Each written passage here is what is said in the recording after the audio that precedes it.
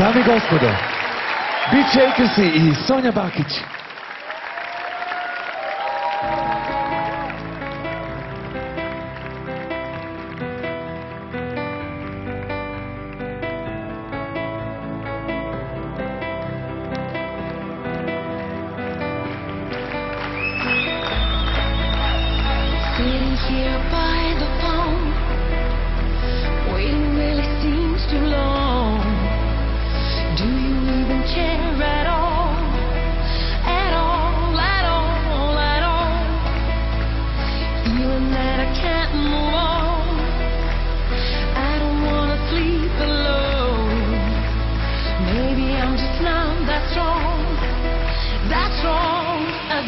to your